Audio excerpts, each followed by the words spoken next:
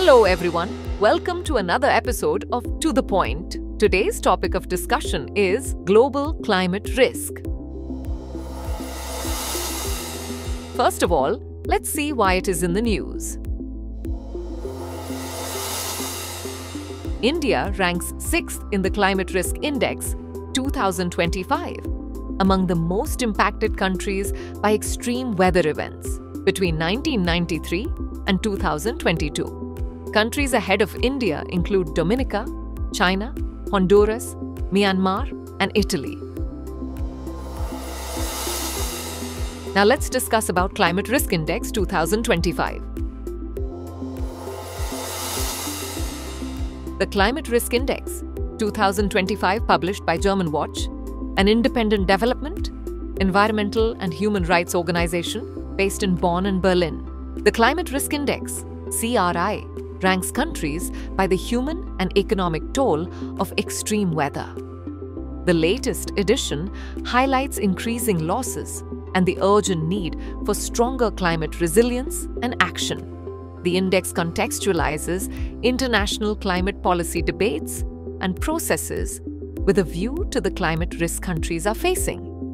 It simplifies the aggregation and understanding of climate related extreme weather events' impacts across different regions and time periods. The most strongly affected countries rank highest and should view the CRI results as a warning sign that they are at risk of frequent events or rare and unusual extreme events. Now let's talk about key highlights of the Climate Risk Index. Over 7 lakh 65,000 fatalities were reported worldwide due to extreme weather events from 1993 to 2022. Direct economic losses amounted to USD 4.2 trillion inflation adjusted due to over 9,400 extreme weather events globally. The primary extreme weather impacts were floods, storms, heat waves, and droughts.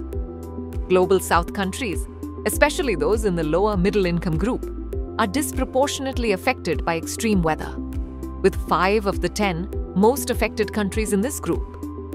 Small island developing states and least developed countries, particularly vulnerable, have limited coping capacities due to economic and infrastructural constraints.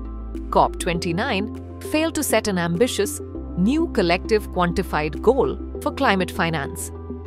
The 300 billion US dollars annually by 2035 promised for developing countries is insufficient to address the urgent needs of vulnerable nations.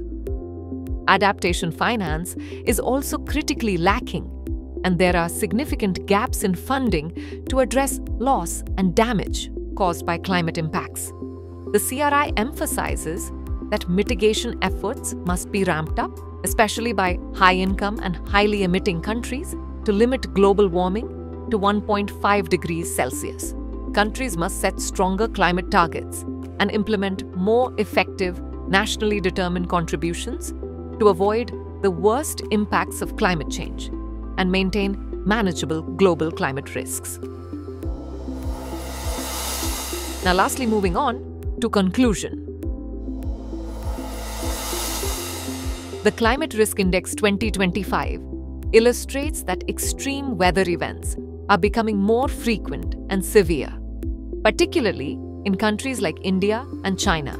The urgency for stronger climate finance and mitigation efforts is paramount to reduce future vulnerabilities and prevent even greater human and economic costs.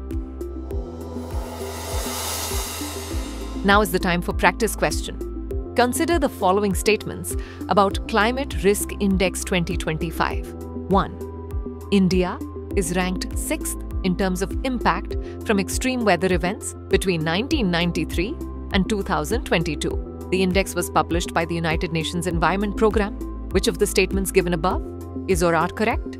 A. 1. Only. B. 2 only. C. Both 1 and 2. D. Neither 1 nor 2. Send the answer of this question in the comment section. Thanks for watching. For more informative content, like, share, and subscribe. And do not forget to press the bell icon to get the notifications.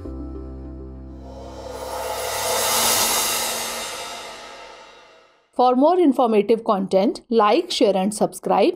And do not forget to press the bell icon to get the notifications.